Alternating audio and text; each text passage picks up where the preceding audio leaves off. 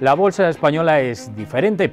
Tras un arranque en rojo como el resto de los mercados europeos, el IBEX 35 se ha desmarcado apostando fuerte por las compras sobre todo de los bancos y de las empresas turísticas animadas por los anuncios de la reactivación del mercado en verano por los avances en la vacunación. El selectivo español ha cerrado con unas ganancias cercanas al 2%.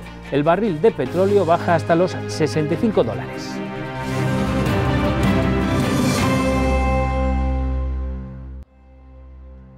Enagas obtuvo un beneficio neto de 444 millones de euros en 2020, un 5% más que un año antes.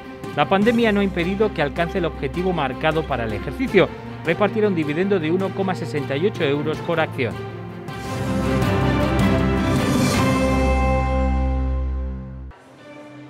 Microsoft ha creado una sociedad en España para gestionar su negocio en la nube.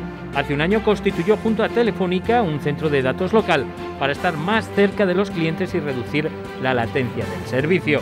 Su negocio en la nube creció un 34% hasta los 16.700 millones de dólares.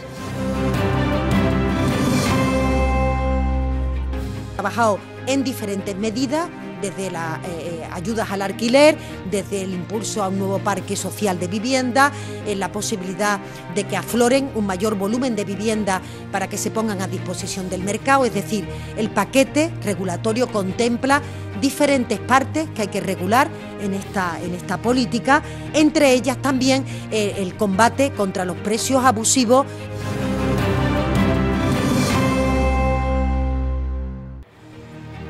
BBVA ha puesto en marcha el programa de fidelización Invita a un amigo disponible en la web y en la app del banco.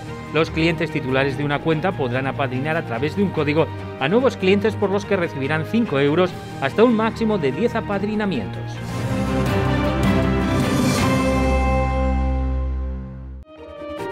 La presidenta de Galletas Gullón, Lourdes Gullón, ha sido elegida como candidata top 100 de mujeres líderes en España que elabora la revista online Mujeres CIA. En junio de 2019 sustituyó al frente de la empresa familiar a su madre, María Teresa Rodríguez.